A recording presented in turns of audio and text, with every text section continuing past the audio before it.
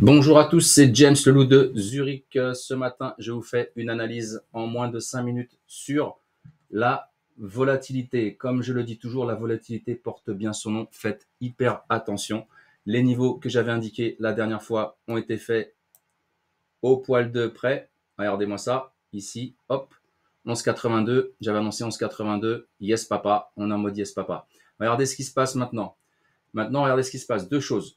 Le triangle ascendant est toujours valide. 1, 2, 3 points, d'accord On a tapé ici parfaitement la dernière fois, on a rebondi ici. On pourrait faire un retour, bien sûr, sur le gap, ici autour des 12,90. Ça reste les soldes sur la volatilité. Mais si on casse ici cette zone de polarité, on pourrait aller chercher les 15 600. Je reviens sur mon triangle, excusez-moi, euh, ascendant, ici. Donc, qu'est-ce qu'on fait dans ce cas-là? On vient chercher ce segment-là, on le reporte ici, et potentiellement la volatilité pour aller dans ce rectangle autour des 17,07 et 16,35. De plus, le ROC est en territoire positif, 4,65. Donc c'est très bon pour nous, d'accord? Le euh, RSI est, aussi en train de monter.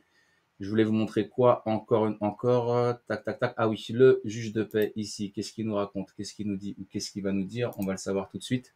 Voilà, on a une très belle ici. Euh, là, on est sur la Kijun, hein, d'accord? Mais en journalier, on, est, on a un très beau plat de Senku Span B ici. Un très beau, plat de, de Senku Span B ici, ce plat. Ici, 16,91. Ici, le plat de Senku Span B, 17,43. Ça, c'est des niveaux qu'on ira chercher, attention. 17,86. Hein. D'accord? Donc, ce que je vous ai mis ici, là, c'est pas anodin. C'est pas, c'est pas du hasard, c'est de la technique. Et ici, on va repasser en, voilà, en weekly.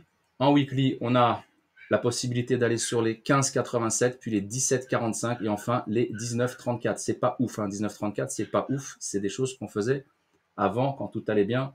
Donc, euh, la volatilité tournait autour des 20. D'accord? Là, après ce qui s'est passé, tout tralala, la guerre, machin, je vous raconte pas. Vous connaissez l'histoire.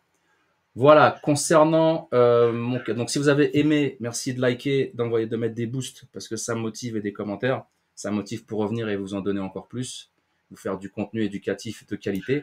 Le calendrier, c'est ça. Vous pouvez faire un screenshot, d'accord? Ça sera ce soir. Mon invité, ça sera ce monsieur et le lien est sous la publication. Voilà. J'espère que ça vous aura plu. Je vous souhaite une excellente journée. C'était le loup de Zurich. Paka paka.